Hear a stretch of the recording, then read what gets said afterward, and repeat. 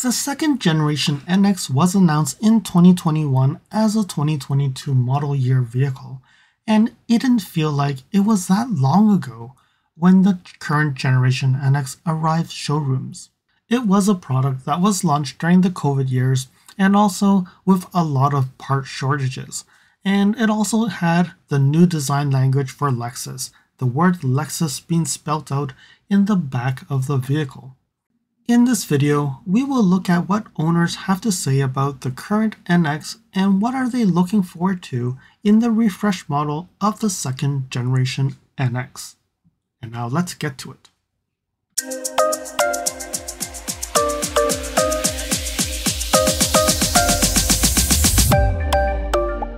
Hey, it's LSFT here today, and today we're here to look at the refresh of the NX Yes, nothing has been provided on the refresh yet.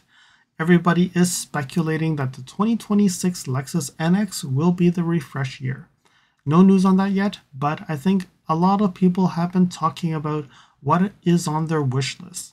And in this video, I'm talking about their wish list because I'm going to pull the information that has been provided by a bunch of Lexus NX owners and really looking at what do they like to change because they're real owners, they will probably have what will make this car even better. So this is a four-part series, and the first series was the interior, which I've already released. And if you haven't watched it, do click on the description below where we have reference to the video. And then this video, we're going to talk about the exterior. And we'll follow up with infotainment, uh, air conditioning, and features in future videos. And if you like this video and you want to wait for the other two videos, make sure you subscribe to the channel. Alright, so let's start off with exterior. So let's look at the first exterior wish list. And the thing is, it's full LED headlights, even on the lower trims. So you can see here we have the bi-LEDs, and on the turn signal, they are not LEDs. But then when you look at the triple beam LEDs, they are fully LEDs across the board. And I think just changing that bulb to become an LED bulb isn't that more expensive. I'm hoping that Lexus will make that change, and I think that is a simple change, and it should be doable. So the next exterior feature that they want to change is the wheel arches, because on the non-F Sport trim, you get these black arches. Some people actually like them because they look more rugged, but then some people would like and prefer them to have the same color as the body. What do you think? So if you look at the ultrasonic blue that we show here, do you think this looks more premium? Let me know in comments below. What do you think? Do they look better? Next one is heated Lexus emblem. So right now we know that the RZ and the RX has this heated emblem and what it's used for is in the winter when snow hits you when you're driving it actually builds up snow there. And then your dash becomes a Christmas tree because it's telling you that all these safety features are disabled because it's being blocking like the radar and everything. So definitely not something that they thought of when they built the NX, but they thought of it when they went to the RX. And maybe I'll stretch this a little bit more.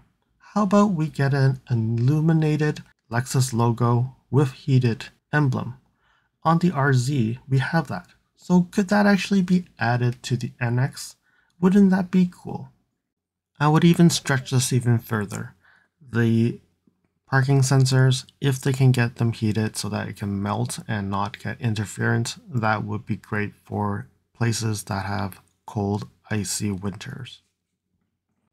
The next on the list I have here is better clips for the black trim.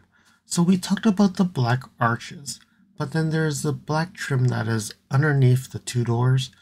Some folks, I think when they accidentally kick it, they actually knock it off and the clips fall off and then they have to somehow try to clip it back. So I think they're, they're trying to get a more, more robust area so that if you kick it, it does not fall off. I personally have not seen that myself. I have not kicked my door. Um, but I guess if you have kids and they accidentally kick it and it comes off, yes, I think that would be a problem. The next one is the rear wiper. They're telling us to tell Lexus to hide it under the spoiler. If you look at RXs, that's what's been done. And I don't think it's that hard to do. It's just really replacing the spoiler on the NX, but then definitely a lot more work to be done.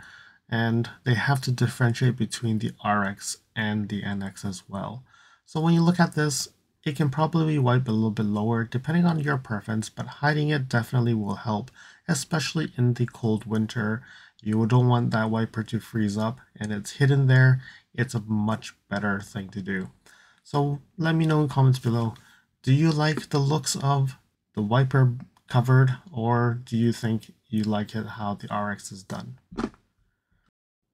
The next one is more insulation or get a more refined petrol engine. So I know that Lexus has continuously improving the 2.4 liter turbo and also the hybrid system as well.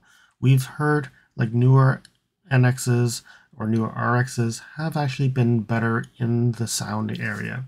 But now you can see that on like this is pulled from Facebook. There are people in Taiwan actually going and adding insulation to their doors, to their trunks, to their interior, just to get a better refined drive. But then, you know, these engines are the ones that are producing a lot of that noise. So I think if Lexus continues to improve on that area, that would be an area that we would see and people would appreciate that it being a little bit more Lexus-like. Follow me on Instagram at LSFT Videos. You can see updates on my experience with the NX450H Plus, which may not be shown on any future videos. You can reach out to me via direct messaging if you have any questions on your Lexus. If you like this video, you can provide me feedback in the comments below, like this video, share it with your friends. This definitely will help with the YouTube algorithms. Press the subscribe button and bell icon and get notified when new videos show up. And lastly, if you want to support me further, you can provide me a super thanks or visit my Amazon storefront before you purchase anything from Amazon and or you can purchase products from the list on the items that I've been using with my vehicle or at home at no extra cost to you. And now let's continue with the video. The next one is a better wiper sweep in the front. You can see here in this picture, this is with a little bit of snow, but once it sweeps, you get up almost like 3 inches of snow just on that pillar.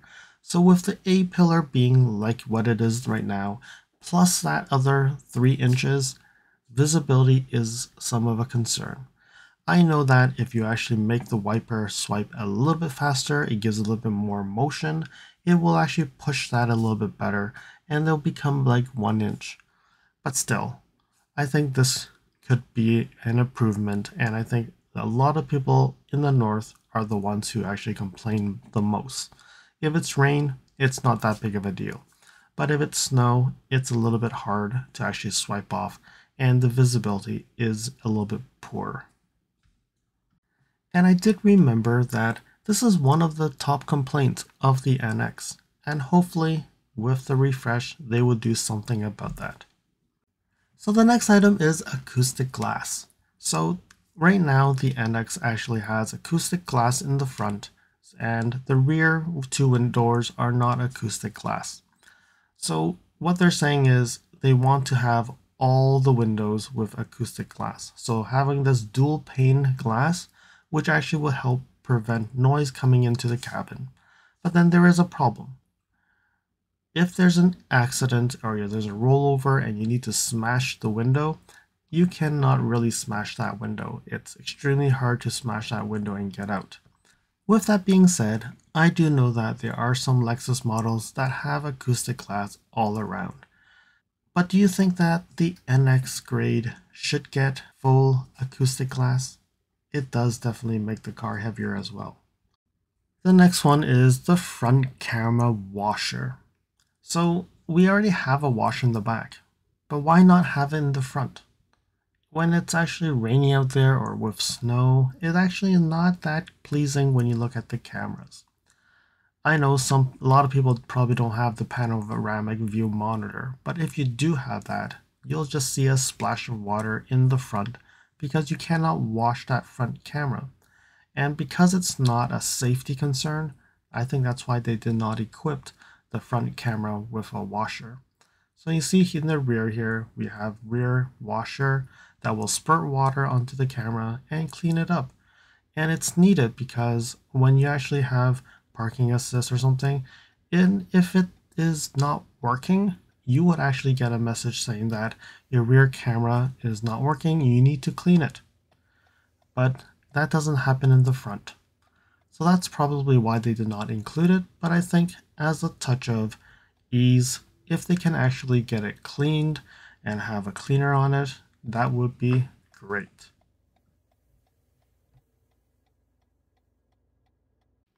So this last one is not something that an uh, owner actually said. It's just a question to all of you.